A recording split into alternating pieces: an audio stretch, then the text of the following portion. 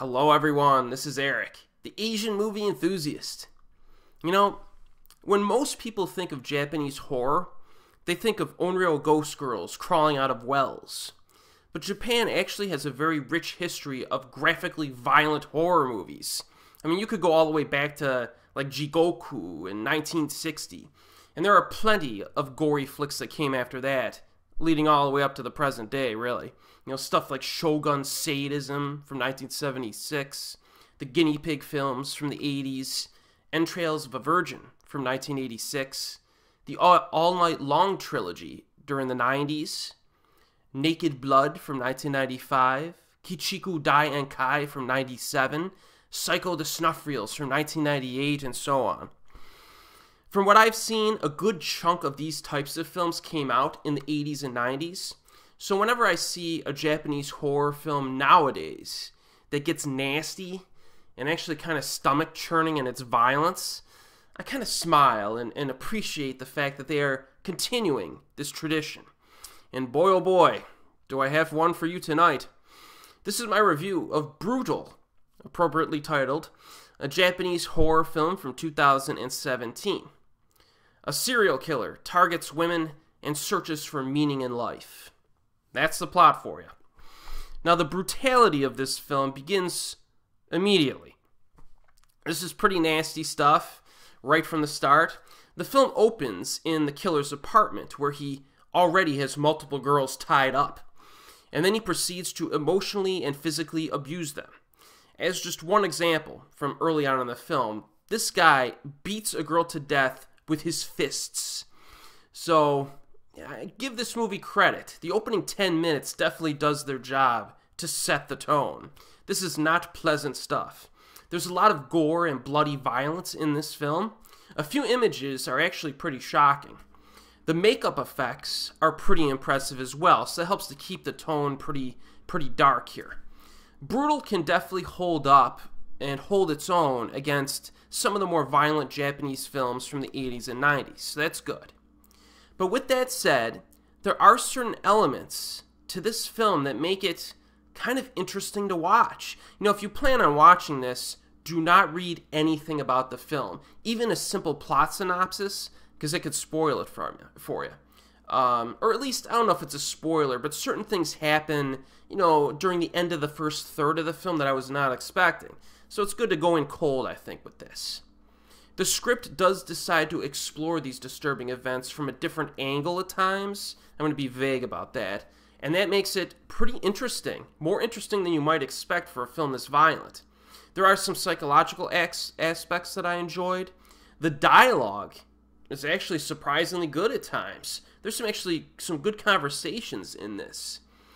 And there's even one scene of black humor that works well as well. So there's something to this film that's a little bit, uh, it's got a little bit more going for it than just the violence.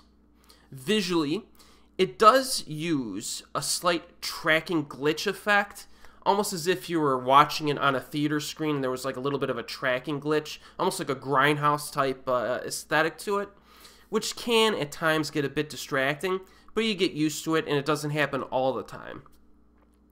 Uh, did not have a huge problem with it, but it was there. In terms of music, there's a very like low key rhythmic tone in the background that's pretty creepy, so I think that worked. Now, in terms of possible flaws, there are a few things that came to mind here. Number one, you know, certain plot elements, like how does this guy lure these attractive women to his apartment in the first place? His methods themselves are never really shown. I mean, I assume that they're prostitutes or escorts, you know, you can easily get into a location, but I don't think that that's actually explained in the film. Not a big deal, whatever. Another thing, how does no one in this apartment complex like hear the screams coming from his apartment? You know, it would have been nice to get some type of an explanation, like maybe it's mostly vacant or something like that, but they don't really explain that either. Third, sometimes knife attacks don't hurt the person as much as they probably should. I mean, there's some knife attacks or like uh, object attacks and stuff in this film that go on for a little while, and it's pretty brutal. But like, you're like, man, this person should be dead by now. you know what I mean? So there's a little bit of that in this as well. So there are a few uh, slightly unrealistic aspects of the film as well. But again, this film doesn't give you a lot of time to think about that stuff. It's only 66 minutes long in total. And that kind of leads to like a fourth aspect that I was thinking of as well in terms of possible flaws. Because I mentioned that there is some interesting content in this from a character standpoint, a character interaction standpoint, a dialogue standpoint. I don't think the film is long enough. And you don't hear me say that much. 95% of the time, I think movies are too long. You know, even really good movies probably could have cut a minute out. You know what I mean? That's just the way I am with films. I think they just, there's always fat that could get cut out. But this movie, I think, is too short. I think they could have easily made a 1 hour and 40 minute film out of this if they expanded some of the character interaction and the dynamics and some of the uh, development a little bit more. Easily. 66 minutes, you can add another 34 minutes on there. I think that would that would have made this film like legit awesome if you would have uh, added some of that. Uh, but still, I recommend this movie, man. If you're into nasty films, like, you know, those old school Japanese flicks from the 80s and 90s, you know, some of that stuff, uh, I say check this one out because it's got the nastiness and it has some interesting elements to it as well, sprinkled in that I had a, uh, I was engaged watching this, which you don't always get with nasty films. So this is available on Tubi streaming in the United States. It's a this is a website you know, T U B I. I've been using it uh, more often lately. There seem to be some uh, rare films on there, so it's on there for free. And it's also available on DVD, I think. I saw a DVD release of this, which really surprised me. So I might actually add it to my collection because it's good enough to be added.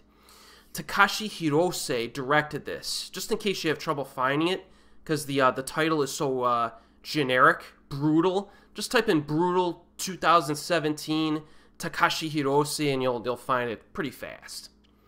Check it out if you're adventurous. And as always, I'll see you next time.